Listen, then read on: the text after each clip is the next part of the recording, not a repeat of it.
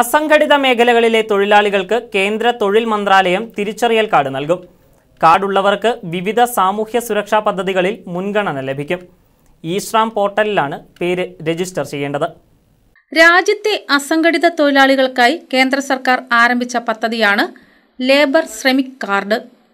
ഈശ്രാം ശ്രാം പോർട്ടലിലാണ് രജിസ്ട്രേഷൻ നടത്തേണ്ടത്. രജിസ്റ്റർ ചെയ്യുന്നവർക്ക് പന്ത്രണ്ട് അക്ക അക്കൗണ്ട് നമ്പറും തൊഴിൽപരമായ വിശദാംശങ്ങൾ അടങ്ങിയ കാർഡും ലഭിക്കും.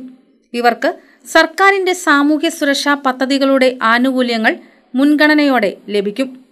നിർമ്മാണ തൊഴിലാളികൾ കുടിയേറ്റ തൊഴിലാളികൾ വഴിയോര കച്ചവടക്കാർ വീട്ടുജോലിക്കാർ മത്സ്യത്തൊഴിലാളികൾ തുടങ്ങി P F E S I ആനുകൂല്യങ്ങൾക്ക് അർഹതയില്ലാത്ത തൊഴിലാളികൾക്ക് വേണ്ടിയുള്ളതാണ് ലേബർ ശ്രമിക് കാർഡ് പദ്ധതി. പതിനാറ് മുതൽ അൻപത്തി ഒൻപത് വയസ്സുവരെയുള്ളവർക്ക് പദ്ധതിയിൽ ചേരാം. അസംഘടിത തൊഴിലാളികളുടെ ആദ്യ ഡാറ്റാബേസ് കൂടിയാണ് പദ്ധതി. അക്ഷയ കേന്ദ്രങ്ങൾ വഴിയോ സ്വയമോ പേര് രജിസ്റ്റർ ചെയ്യാം. പിണ്ടിമന പഞ്ചായത്തിൽ മാലിപ്പാറ അക്ഷയ കേന്ദ്രത്തിൽ രജിസ്ട്രേഷനും കാർഡ് വിതരണവും ആരംഭിച്ചിട്ടുണ്ട്. K C news Kothamangalam.